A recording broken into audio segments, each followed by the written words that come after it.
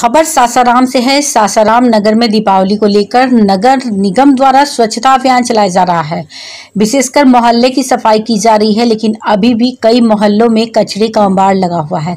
सासाराम के उत्क्रमित नगर निगम के कार्यपालक पदाधिकारी राजेश कुमार गुप्ता ने बताया कि दीपावली तक पूरे नगर की सफ़ाई व्यवस्था सुनिश्चित कर दी जाएगी। जिलाधिकारी धर्मेंद्र कुमार के निर्देश पर लगातार अभियान चलाया जा रहा है।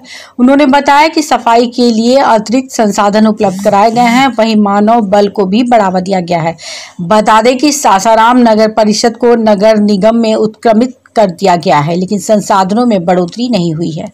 व्यवस्था हम लोगों ने दुरुस्त करने के लिए है ना, अतिरिक्त है ना, साधन का है ना इस्तेमाल किया है। मानव बल भी हम लोगों ने बढ़ाया है। और मैं स्वयं भी मॉनिटरिंग कर रहा हूँ, आप देख ही रहे होंगे। कि मैं अभी है ना जितना भी छठ घाट है, उसको भी है ना देख के आया हूँ। और दीपावली के अवसर पर मेरा है ना पूरा पूरा ये है कि जिला पदाधिकारी का जो निर्देश हमें मिला है कि शहर है ना, पूरा साफ़ रहे। और लोगों से भी मेरा अनुरोध होगा कि जो भी है ना, कचरा है ना, वो निकाल रहे हैं। वो कचड़े को है ना एक जगह रखें, इधर उधर छीटे नहीं। छीटने से है ना, फिर है ना, सफ़ाई व्यवस्था है ना, लगता है कि पूरा टूट गया। अच्छा।